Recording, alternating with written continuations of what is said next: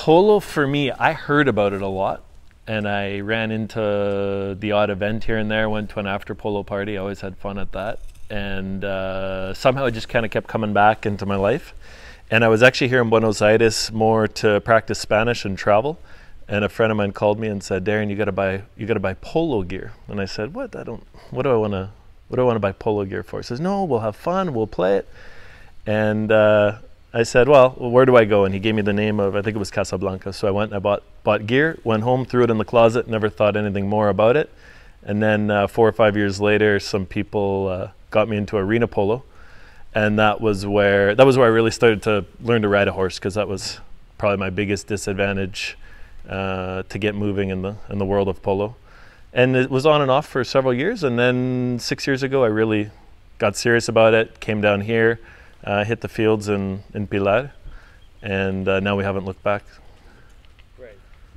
But you're born in Alberta, isn't it? Or tell us your, your days in Alberta when you were young. Yeah, I grew up in, in Alberta, Canada, racing motocross. So uh, extreme sports was always in my blood, and that was that was my my life. Uh, every day I was up early on the bike, and it's a lot similar to the polo world. When you really want to be serious in polo, you have to be up early and and uh, on the horse. And so that was in my blood. But I left motocross because of all the injuries that I had over the years.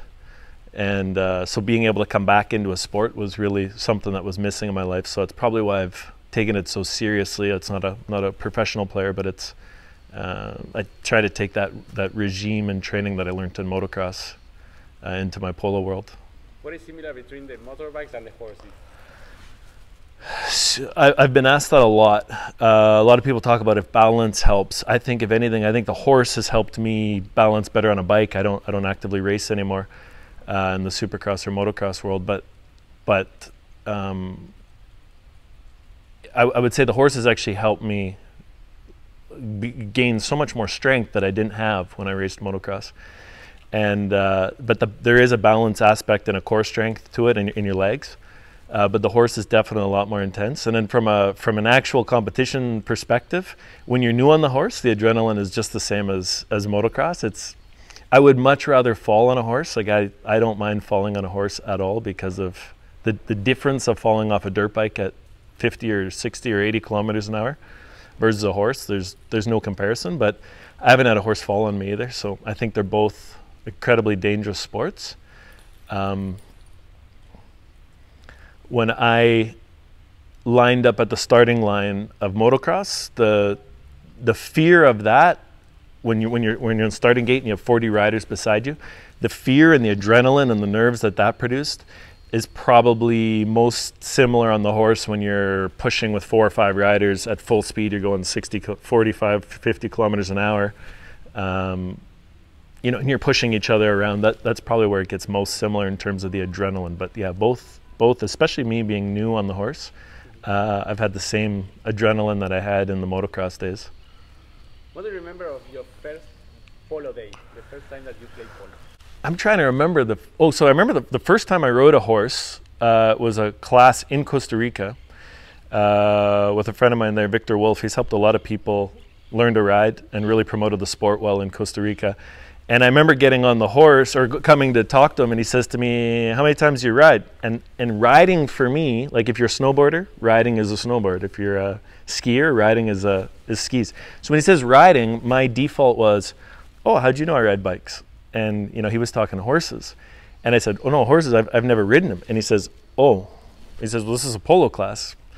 Well, leave the mallet. So we threw the mallet, and he gave me a he gave me a, a horse riding class and then I think the second time he gave me the mallet and I held it in my left hand and he said, no, no, no, hold it in your right hand. And I said, no, no, no, I'm a left-handed. And he goes, no, no, no, polo's a right-handed sport. And I said, no, no, I'm left-handed. and he said, no, you don't get it. Uh, the, the rules of polo don't let you play left. And I couldn't understand why, but uh, later I figured out for obviously to avoid collisions. So that was my first, first experience of really being around the horses. And then and then you know there's a difference between arena polo and there's a difference between uh, grass polo they're, they're two different sports i played two seasons or three seasons of arena polo and i thought i knew something about riding a horse and then when i went to the green it was it was starting all over again And I think that might have been in Thailand, actually, the first time I, I touched the greens. And, and then it was here in Pilar. Actually, Costa Rica was probably my first, first time. And I don't really remember much of it because I just remember uh, there was there was a year of just starting all over. I thought I knew how to ride a horse. I knew nothing, and it was horrible. It was depressing because I wanted to do something in the sport, and just realizing that the time I had spent thinking I had learned to ride, I had to start all over again because of the speed now, and you know the ball goes from this big to to that big. Tell us your connection with uh, Fred Mannix. Fred is, I mean, Fred where, where do you start with Fred? He is such a humble and good human being at his core. Uh, we grew up three hours away from each other. Our parents' farms are, are very close. Um, and, and when you look at the world of polo, and of course Fred will never tell people this, but I mean he's a legend in polo. What he's done and what his family has done, and the organization of Alegria, because to come to play the Argentine Open, there's if I mean you and I would have to count count the amount of people that have done it as foreigners, but you've got a 99% Argentine dominated sport at the top. And you've got these few anomalies like Fred, um, maybe Pelon, and a couple of handful of other people, some Mexicans, probably some Americans over the years, that have really come and played at the top level. Uh, so it'll probably never happen again in history that'll that'll they'll do what Fred has been able to do. You know, playing the Palermo final, uh, getting to say he's one of the few people who've beat La Dolfina in their prime. Uh, he's done some pretty incredible things. Um, but aside from that, uh, Fred's just a really good, supportive friend, and he's really, he's really, you know, it's nice that we, we, uh, it's coincidental that we grew up so close to each other in Canada, not knowing each other, and then ended up here in Pilar 20 minutes away from each other on the other side of the world.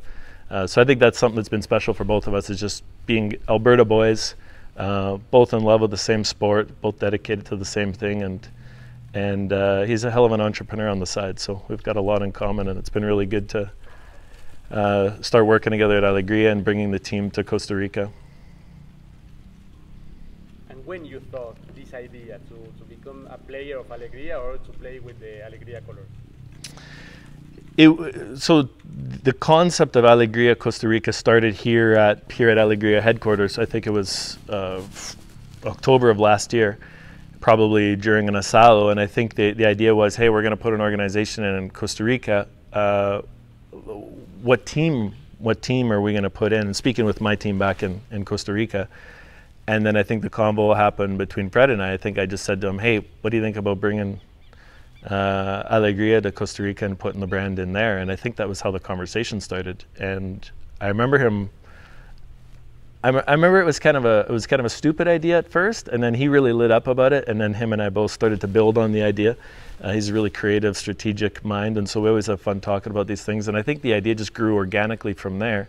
Uh, we didn't know how much fun it was going to be. I mean, this year was a was a really cool year uh, in Costa Rica, despite COVID and now the ideas keep growing and, and, and building. And of course, the idea is to bring the breed there because Alegria's breed is probably the best kept secret, in my opinion, here.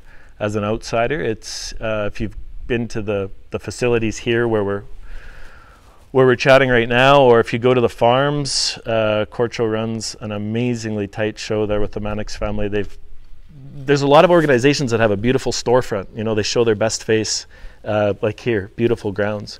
But you go to the back office of Alegria, and it's as good or better. It's it's really impressive uh, how serious they take their organization. So I'm really excited to be able to uh, represent Alegria because it's you know it's Canadian born. Uh, I think that was the the organic part of it is we're all from the same from the same area and uh, doing the same thing, but obviously at completely different levels. And I think Fred now, you know, post Abierto days, uh, I've seen that he's really still supporting polo a lot, helping a lot of new players like me. And so this gives us a way as well to, to promote the brand and get more people into polo and and uh, eventually spread the breed around the world as their as their uh, horses are becoming more and more available. Thank you very much. Thank you. Really appreciate it.